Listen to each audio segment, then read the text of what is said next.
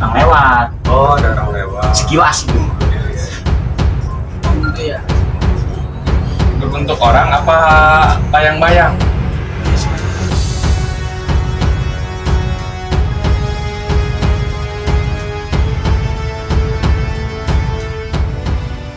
Assalamualaikum warahmatullahi wabarakatuh. Auzubillahiminasyaitonirrajim. Bismillahirrahmanirrahim. Asyhadu an la ilaha illallah wa asyhadu anna rasulullah. Allahumma shalli ala sayyidina wa ala sayyidina Muhammadin nabiyyin ummi ala alihi wa sahbihi. Oke, saudara semua, Rejun Suping di Egio Channel. Malam ini kita akan berbincang-bincang ya bersama rekan-rekan kita nih di kanan kiri kita akan ber apa istilahnya memberikan pengalaman ya. Karena di sini ada Kang Dedi, ada Kang siapa? Aji, Kang Ijal. Ijal. Jadi ini kalau Kang Dedi kebetulan dia sering bawa mobil ya ekspedisi dan Kang Ijal juga sering apa Kang Aji juga sering ikut ya sama siapa?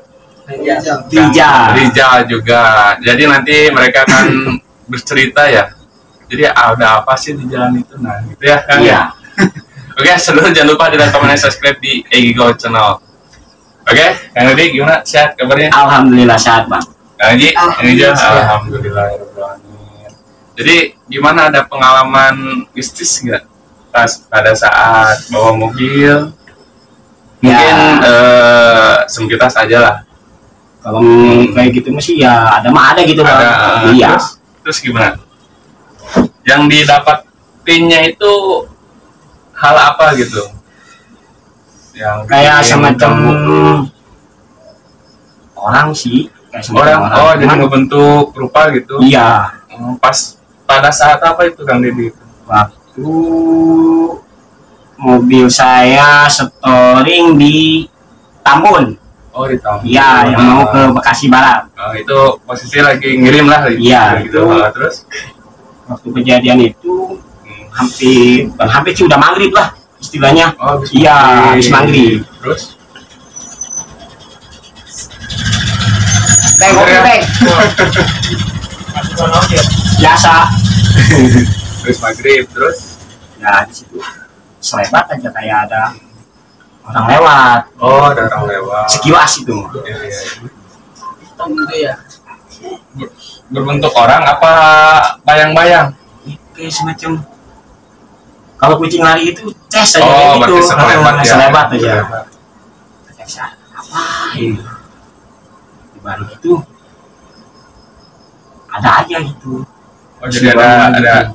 ada kejadian aneh gitu. iya ada aja Eh, merinding, hawa merinding. iya Oh, merinding. sampai udah panik pokoknya Hmm. Tapi di situ pas itu posisi Kang Dedi itu lagi di bawah apa lagi di dalam mobil? Lagi dalam di- mobil Di dalam mobil. posisi lagi di dalam Oh, mobil berarti belum belum belum turun, belum turun. belum Ya mungkin itu di area parkiran itu. Pas di Tambun itu area parkiran. iya di area parkiran Area parkiran. Ah, Hmm.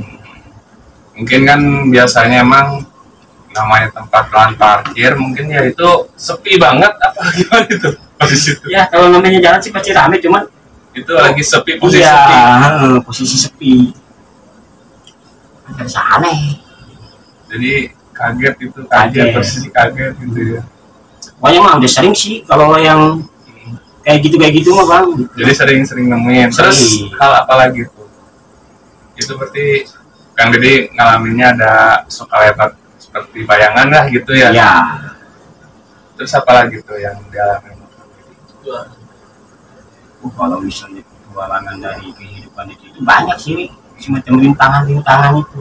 Pas bawa mobil ya? Iya. Terus apa tuh? Dari rintangan dari awal pertama bawa mobil itu udah punya nggak enak sih pirasat gak enak kesan gak enak Iya. Oh. pas pirasat itu gak enaknya apa sih ada kejadian apa gitu pas Pas- ada pirasat itu pokoknya mah waktu mau berangkat itu hmm. kejadian di Cimone Cimone. Cimoya Cimone waktu bongkar ke Serpong terus kata Dedi ku ini merasa gak enak mau berangkat gimana kata Dedi dia paksain berangkat terus tiba-tiba waktu di depan lampu merah itu ada kejadian orang Oh, ada kecelakaan gitu. Kadang pas di depan Bung Denny lagi berhenti itu. Jadi itu kadang ada keanehan juga ya iya. kayak jadi dibalik ke apa sih dirasakan rasa- nggak enak gitu lah ada aja gitu. Kadang memang sih kan jadi eh, kadang di luar nalar lah di luar nalar ya gitu ya.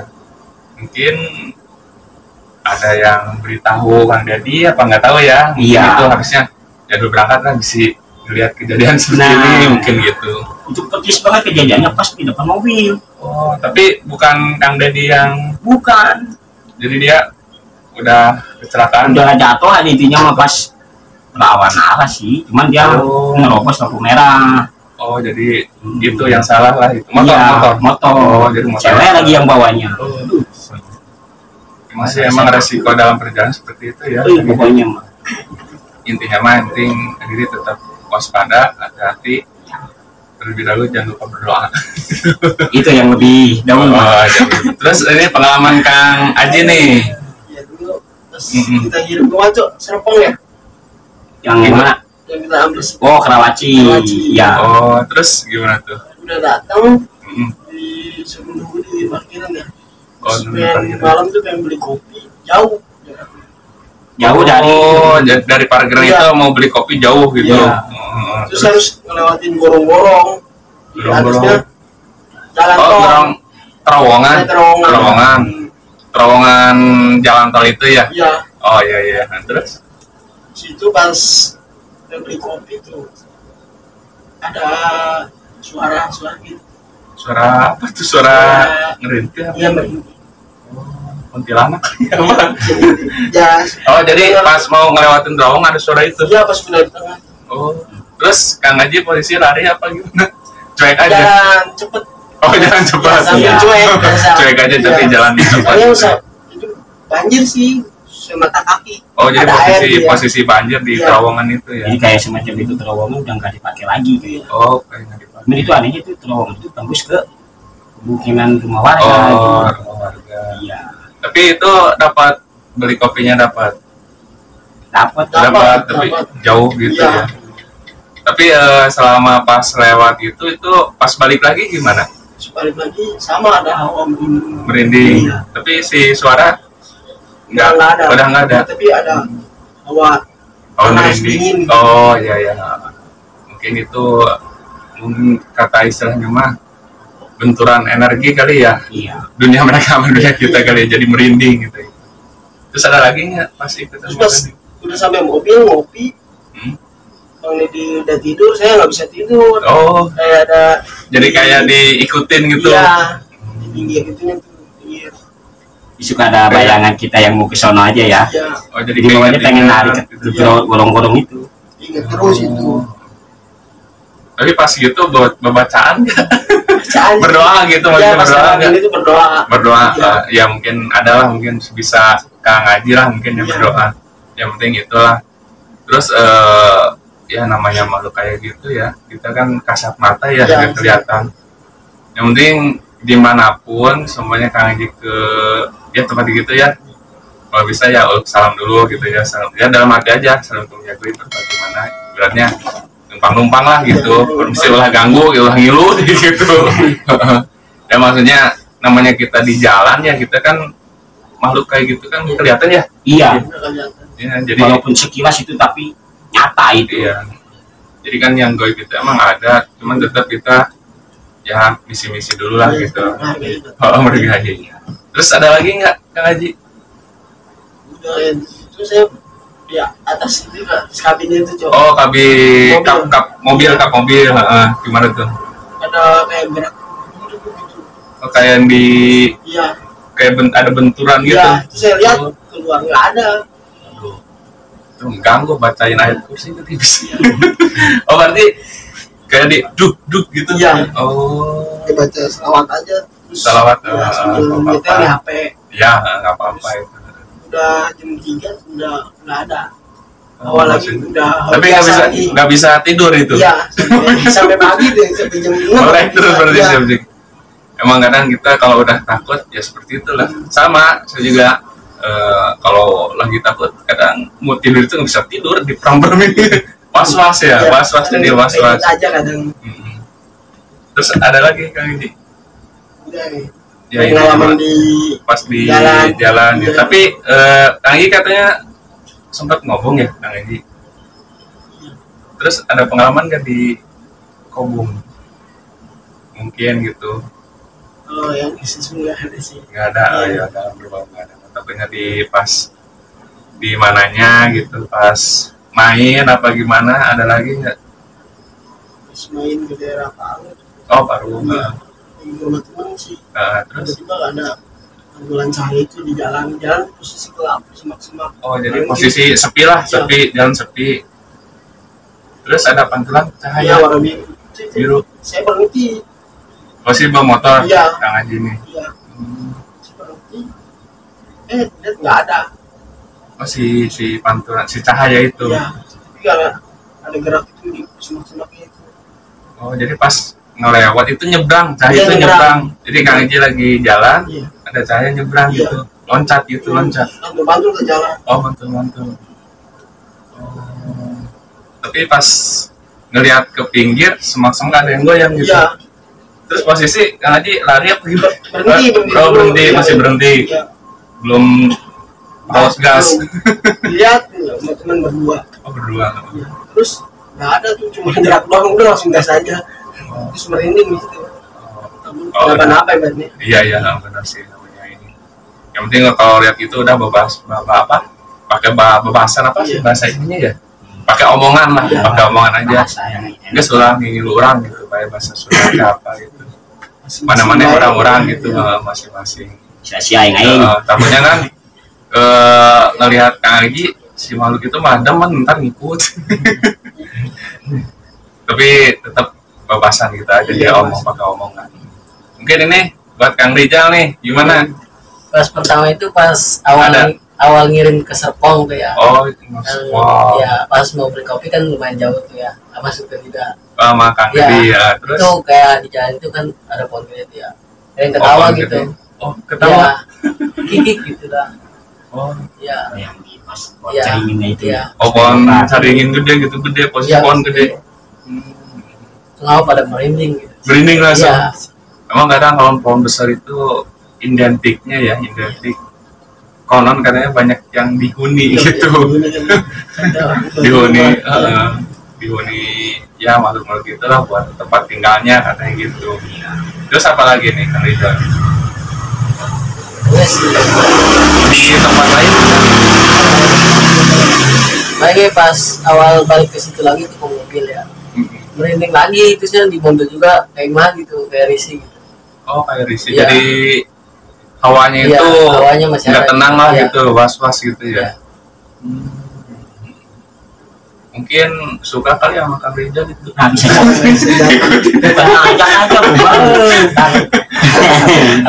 Tapi nggak ke bawah mimpi kan? enggak itu Tapi ini ke bawah mimpi Iya. doang.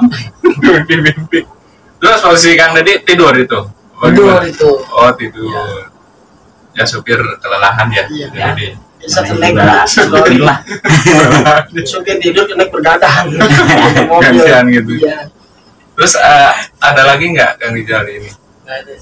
Nggak ada. Iya. Mungkin di masih sekolah kan? masih Mungkin di sekolah ada pengalaman pas camping, apalagi main ke gunung, sih. nggak ada. Ya udah intinya mah Iya. mungkin ya buat pengalaman aja lah ya. Walaupun istilahnya sering ikut sama Kang Dedi, ya namanya makhluk kayak gitu mah ada lah ya. iya Yang penting kita masing-masing nggak ganggu ya Kang Dedi. Iya. Benar nggak? Kang Dedi? Gitu. Terus eh, pernah merasakan nggak kayak apa sih namanya hawa dingin apa gimana ke tangan paling pernah pernah pernah masa ya Kang Dedi pernah pada lemes lemas itu biasanya kalau kita bahkan close eh, terus? bahkan sampai sakit satu bulan dua minggu. Itu kenapa tuh? Ya kurang tahu juga sih kenapa kenapanya takutnya kan ada asal mulanya pas apalagi main ke mana gitu. Kalau main sih paling jauh dari rumah ke tempat kerjaan doang. Cuma posisi waktu itu waktu belum sakitnya saya pernah tidur di satu pabrik. Oh. Eh, dulu sebelum jadi supir. Eh, masih inilah ya? Iya. Pernah tidur waktu di hari Sabtu intinya. Pernah tidur. Terasa ada yang bangunin. Oh di- itu semacam mimpi tapi kayak nyata. Terus pas gitu katanya sih dibangunin sama kakek-kakek kamu bangun. Jadi segini dia pakai baju sama kopi nah udah dapat seminggu baru jadi sakit selama satu bulan dua minggu itu. Satu bulan dua minggu terus sudah waktu itu diobatin juga di ada ke medis bahkan medis juga mengatakan sehat. Sehat. Kalau secara Iya. medis sehat. Secara medis sehat. Cuman kalau kata secara syariatnya gitu iya kayaknya ada yang ngikutin kakek-kakek itu tapi nggak tahu sih ya atau enggaknya. Iya. Dari sakitnya itu emang pernah mimpi juga. Jadi, Jadi- rintangan di mimpi itu banyak. Itu mimpi apa tuh uh, pokoknya di dalam sakit itu mimpi nggak ada yang bagus. Jelek semua. jelek semua. Bahkan dari awal pertama mimpi ketemu sama kakek-kakek petani. Kayak kakek? Petani. Petani Iya, oh. pakaiannya kayak orang petani itu. Iya terus? Dalam mimpi itu iya dalam mimpi itu gelap Gelap. wah. Cuman bahasa si kakek-kakek itu dia bilangnya gini. Dah lu nggak usah ke mana-mana temenin gua di sini tidur. Eh. iya. Oh. Itu yang jadi aneh. Jadi malah terpancing sama omongan kakek-kakek itu.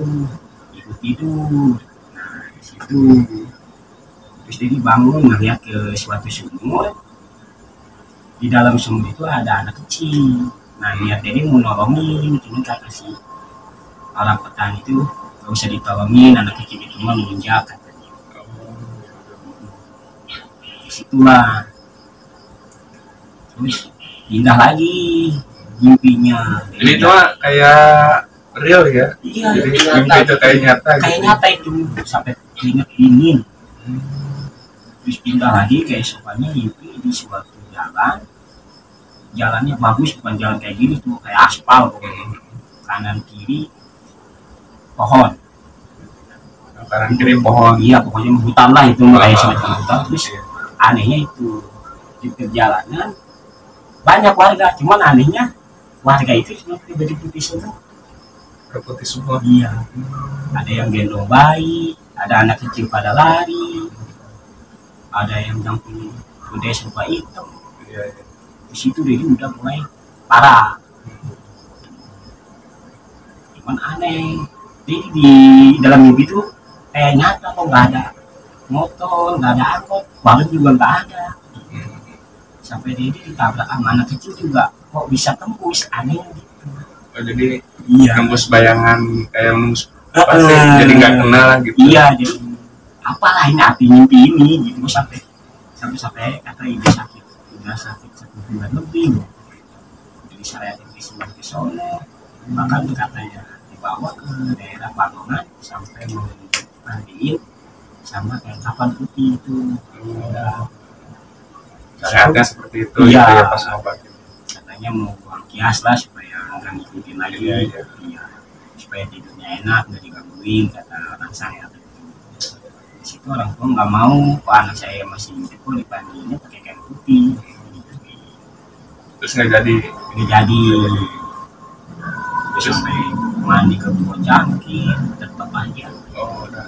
Udah ke mana-mana lah ya? Iya. Terus em, sembuhnya gimana itu? Kerjaan alhamdulillah semuanya dari dari mimpi juga oh dari mimpi juga. Dari mimpi juga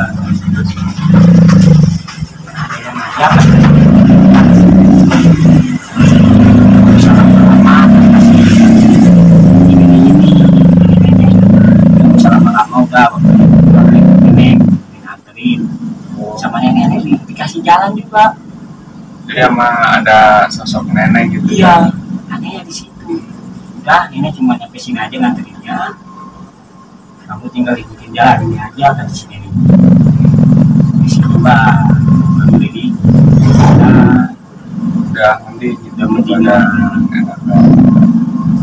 kan terus bisa kita apa aneh kalau siang tidur kalau malam begadang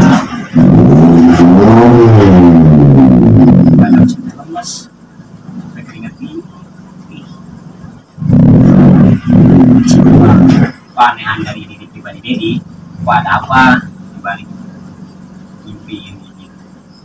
Mungkin itu kayak apa ya Sya? mungkin bisa dari teguran kali ya. Ya bisa jadi gara dan terus ngingetin bisa jadi kayak gitu. Nanti kan namanya orang sakit kalau itu katanya buat mengurangi dosa. Iya ya mudah-mudahan lah. Cuman anehnya kayak gitu aja. Iya perjalanan dalam sakitnya gitu ya. Ya mungkin intinya kita balik lagi ke positif aja lah ya. Seperti kita nggak sudah ke mana-mana mungkin kita alhamdulillah udah sembuh lagi berarti gitu kan. Kata orang tua lah ini ya benar itu orang tua perlu iya.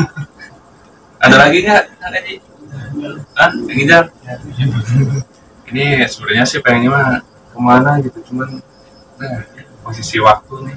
Iya mungkin kita aja ya kita makasih Ya, juga nih. makasih juga. Ya, udah Kang Edi. ke kampung kita di Freddy ini Kang Idi juga udah bisa sering Kang Haji Kang Ida juga ya. Berbagi pengalaman lah sebenarnya. Iya. Jadi namanya di mobil ya. Mungkin ya sebisa mungkin kita berdoa ya Kang Idi ya. Dari pengalaman Kang Idi gitu kan tadi ada aja kan. Ada aja itu benar aja sih tetap jaga ya istilahnya batinnya rohania kita. Ya terus di ini juga harus dikuatin. Ya mudah-mudahan ya ibadahnya juga mungkin itu buat membentengi juga sebetulnya Iya. gitu.